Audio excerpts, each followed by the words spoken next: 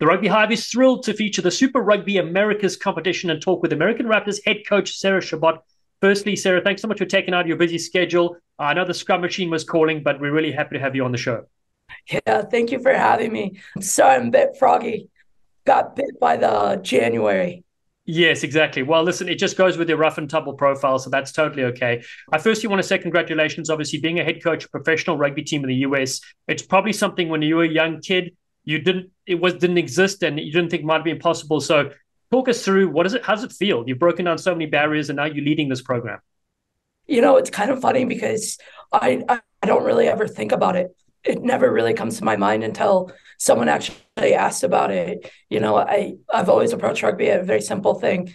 You know, it's it's a group of people that are trying to accomplish something, and you know we're doing our best to guide them and give them every tool possible. So it's something I really have never thought about. Like I said, until we have these conversations. Yeah, and then and then what about your playing journey? Of course, I, I read a bit about how you started in the basketball court. Uh, you were, played softball. You were a track athlete in your early sporting career. So how did you find rugby after that? I found it completely by accident, actually. Funny story, I was going to join a sorority of all things during that first couple of weeks of like freshman orientation. And I was just bebopping around, looking at the chess club, the French club, Delta Zetas. And then rugby was playing. And I was like, well, no, wait a minute, I can do that. And I was pretty realistic about my track career. Like, I knew I wasn't going to go to the Olympics and I, I knew the diamond circuit wasn't for me. But, you know, I found rugby and then I just took to it but yeah, that's that's how I found it completely by accident. See, I always love the stories unearthing how people get to the game. Nowadays, it's obviously it's more prevalent in the US, but the journey here is, is different from other countries. So, multiple choice question for you: How many people have you run over on the rugby field since you picked up that ball at college? Is it 1,500, 3,750, or 5,900? oh, oh man, I don't know. We should put that out on a doodle poll we'll have to uh, we'll, we'll have to scour the interwebs. I, I only bring it up because uh, uh, when you were playing, I mean, what a ferocious athlete on the field! I would be scared if I was standing in front of you to tackle you, and I know that you've run over so many people. So, did you have some highlights? Anything you want to share about your playing days? I know you're such a humble player, but you got to play at the highest level, and it must have been very special. Yeah, I did. Um, it was it was a tremendous opportunity. I think more importantly was, you know, the people that I got to do that with you know, I'm still in touch with them. And it's it's great because if you really look at like my class, that 2014, 2010 group, you know, the number of coaches and athletes that have gone on and continue to give through different programs. Um, it's pretty cool to see. It was a real special group, and I was privileged to have to be a part of it. And the other cool thing too that I feel very, very fortunate about is my whole career I got to play for really quality coaches I mean, two of them just got put into the Women's Hall of Fame um, and were Kathy Flores Lifetime Achievement winners.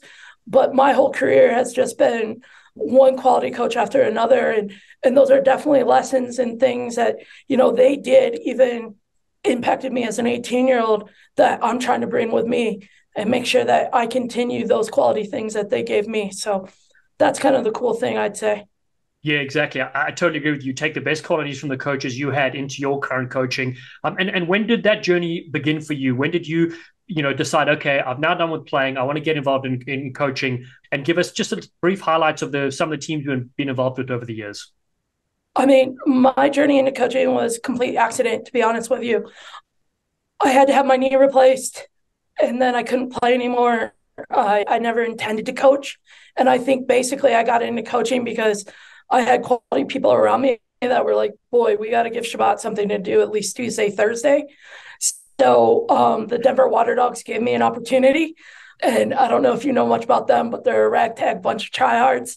Um, and I really enjoy them. And then Mose Timoteo gave me an opportunity at CSU's men's program. And then Mark Bullock and Luke Gross gave me an opportunity to coach with the PRP. It's kind of funny, like I've only coached men. Other than CSU, it's always just been senior side men yeah, and then Mark Bullock gave me an opportunity with the XOs and the crossover program, and you know, and now now we're sitting here. Yeah, exactly. I, it's an amazing journey how quickly things accelerated. So I know I know Mose is not currently he's he's going off to do other things. So what other coaches do you have around you that you're going to work with this season? Brendan Baum is absolutely amazing. He's running our attack and backs. He does a fantastic job. He's a real stickler at detail, X's and O's, it's a real privilege to get to work with him. He came from the Gil Groene staff, so he brings that experience of, of a high level environment. Uh, Leo Centenari, former Argentina international, he's running our defense and helping with lineouts, and he brings just another a young coach, fresh kind of off the playing career, ended in 2018. Um, so, but he brings that intensity and some excitement. The staff, the staff right now is young, but we're very eager Brilliant. And then how would you describe your coaching style? You know, what sort of game can the fans expect to see the Raptors play this year? Number one, my style, I think, I don't know. You know, I I wouldn't be foolish enough to put myself in a corner because I am so young, like young and developing. I would say going to be ever developing and changing and growing. I mean, if if my coaching career resembles my playing career, it's going to have a lot of different shifts, movements, um, ups and downs for certain, but I, I think that's a that's a lifetime evolution. Mm. And really I'm just in my infancy of trying to figure out, you know, who and what I am. But um, there are definitely some core values that I'd like to stick to. What the fans can see. Um, I'd like to say we'll build our team around a great set piece, uh, first and foremost, and then, you know, we want to play smart with it. We have a young athletic team um, and we want to make sure that we play expansive rugby in the right areas of the field. And then we want to be stalwarts on defense. You know, we'll give up some meters, but we want to keep off the board. Yeah, that's brilliant. I kind of figured it would be centered around. I mean, set piece is such an important part of the game uh, to compete. So let's talk about this thrilling opportunity, the America's uh, Super Rugby uh, competition, inaugural event, five other countries, Argentina, Brazil, Chile, Paraguay, and Uruguay. So what excites you about this challenge? And then a follow-up question, what are the goals for this year? I mean, I think the ch- the the excitement is is kind of the unknown. Um, once again, like we're kind of the first to do this. So first American club to play in an international comp. So we don't know and it's very interesting league. It's a high powered league. It should be exciting to play in, but the honest fact of it is, is like we don't know because we haven't done it. I think for goals, as far as goals go, it's got to be week by week, and it's got to be all about us accomplishing the the things that we set out to do. We like keep things in threes, so it's those three things, and then for us, it's just stay in that fight, stay in the fight, stay in the fight. And then in terms of like the makeup of the squad, I know you in the past you've had a lot of crossover athletes come to rugby. I see you've got a host of different countries represented on the squad, a handful of capped internationals. Are you leaning towards, you know, blending that experience with some of the newer players, or how are you guys going to take care of that this year? Yeah, I mean, I think uh, you've seen Glendale as a program the past couple years like scurrying, looking for crossover athletes, looking for for the guys that we could mold into potential uh, rugby players going forward. And and what you've seen is is we've paired out those players and we've taken them as far, but you don't know what you don't know until you know. And so what we really need to do is bring in those experienced players to push those players that we've ID'd to that next level. And that's really what we're looking for those veterans to do. And would you say, because I know that part of the goal was, well, initially, you know, the Glendale Raptors played in Major League Rugby for a few seasons, and it became the Colorado Raptors. And then the academy, as you mentioned, producing players like David Still, who on the Sevens World Series this past year has absolutely lit it up. And a lot of foreigners are talking about, you know, uh, your program and obviously what it can do for the game in the US. So are there two kind of different goals? Obviously, do well in this competition, but at the same time, develop American athletes that can go on and represent the United States. Is that still a focus? A hundred percent.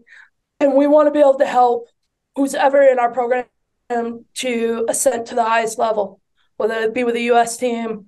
You know, um, like you said, we have some young young players from other parts of the country or other countries, excuse me, and we want them to just strive to to the highest level that they aim for.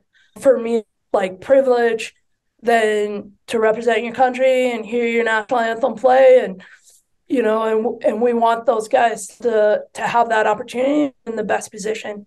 Last thing for you, the fans are going to be tuning in. Obviously, you're going to be playing, uh, you know, six matches away in South America, six matches at home at Infinity Park. Uh, what message do you have for them as you get into this first inaugural uh, season? you know, every bit of support counts. We'll be excited to see you out at the park. Tune in. I think this team's gonna you know, grind and, and do you guys solid. And um, yeah, just come out to the park for a good time. Enjoy this beautiful game. That's beautiful, Sarah. I want to thank you for your time for joining the Rugby Hive. I'll see you at Infinity Park for those home games. We'll be commentating those. I uh, look forward to meeting up for a cold beverage afterwards as well. And uh, again, congrats on everything you've achieved so far, but more importantly, what the Raptors are doing for rugby in this country and beyond. Uh, taking part in such a historic competition is going to be thrilling to watch. Hey, thank you so much, Dallen, and thanks for taking the time. I appreciate it. Awesome. Get better. Raise that voice. Yeah. Too much yelling. Uh,